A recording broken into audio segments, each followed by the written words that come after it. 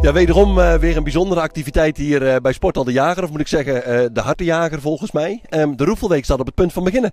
Jazeker. We gaan volgens mij voor het 15e, maar het zou zomaar het 16e jaar kunnen zijn, gaan we weer lekker roefelen. Ja, het is gewoon de sfeer, de gezelligheid. En dat je met allemaal kinderen bij elkaar bent.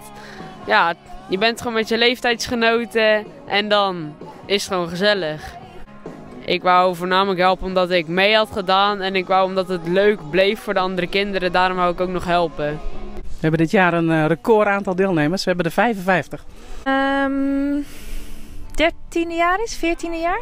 Zoiets denk ik. En wat maakt de Roefelweek voor jou zo bijzonder? Um, de mensen die je om je heen hebt.